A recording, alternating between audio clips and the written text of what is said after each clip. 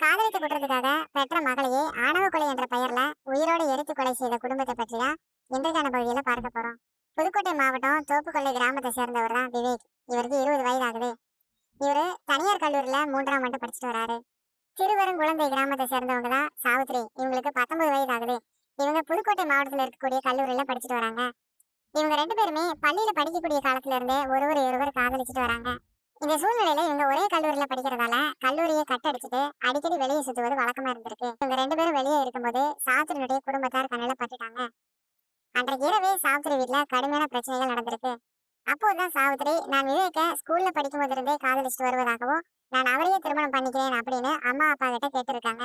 ஆனா விவேக தாழ்த்தப்பட்ட ஜாதியா இருக்கிறதால இவங்க இந்த திருமணத்திற்கு சம்மதிக்கல. அதோட நின்று விடாம சாவித்திரிய காலேஜ் போறதை நிறுத்தி அவங்களுக்கு அவசர திருமணத்துக்கு ஏற்பாடு செஞ்சிருக்காங்க இந்த தகவலை சாவித்ரி ரகசியமா விவேக்குக்கு தொலைபேசி மூலமா சொல்லியிருக்காங்க இந்த செய்தியை கேள்விப்பட்ட உடனே விவேக் சாதுரியமான ஒரு முடிவு எடுக்கிறாரு. நம்ம ரெண்டு பேருமே யாருக்கும் தெரியாம நண்பர்கள் உதவியோட கோயம்புத்தூர் போய் திருமணம் முடிச்சு நம்ம புது வாழ்க்கையை தொடங்கலாம் அப்படின்னு முடிவில் இருந்திருக்காரு இரவோடு இரவாக ஊர்ல இருந்து கிளம்பி ஒரு டாக்ஸியை பிடிச்சு கோயம்புத்தூர் போயிருக்காங்க கோயம்புத்தூர் போற வழியில ஊத்துக்குடி செக் போஸ்ட்ல இ பாஸ் இல்லாததால காவல்துறை அதிகாரியால பிடிக்கப்பட்டாங்க.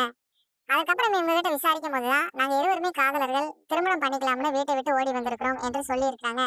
இவர்களது கல்லூரி ஐடி கார்டை வாங்கி செக் பண்ணும்போதுதான் இருவருக்குமே இருபது வயது பத்தொன்பது வயது இருந்திருக்கு.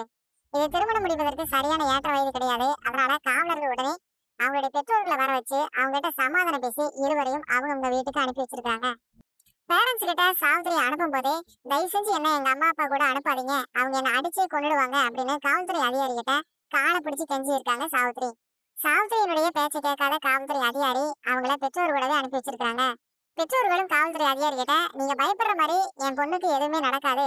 நான் எதுவும் பண்ண மாட்டோம் அப்படின்னு வாக்குறுதியும் கொடுத்திருக்காங்க வீட்டுக்கு வந்த உடனே பொண்ணை கடுமையா திருந்த அவங்க மொபைல் போனை வாங்கி வச்சுட்டு நீ எந்த காரணம் கொண்டு வீட்டை விட்டு வெளியே போக கூடாது அப்படின்னு கடுமையான கட்டுப்பாடுகளை போட்டிருக்காங்க இதனால சாவுதிரிக்கும் விவேக்கும் உண்டான தொடர்பு துண்டிக்கப்பட்டுச்சு.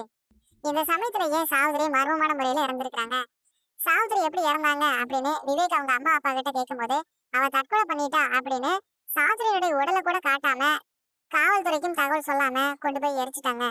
என்னுடைய காதலை பத்தி எனக்கு நல்லாவே தெரியும். அவ எந்த காரணத்தை கொண்டும் தற்கொலை பண்ணிக்க மாட்டா. அவ தன்னம்பிக்கை நிறைஞ்ச பொண்ணு அப்படின்னு விவேக் சொல்லியிருக்கிறாரு.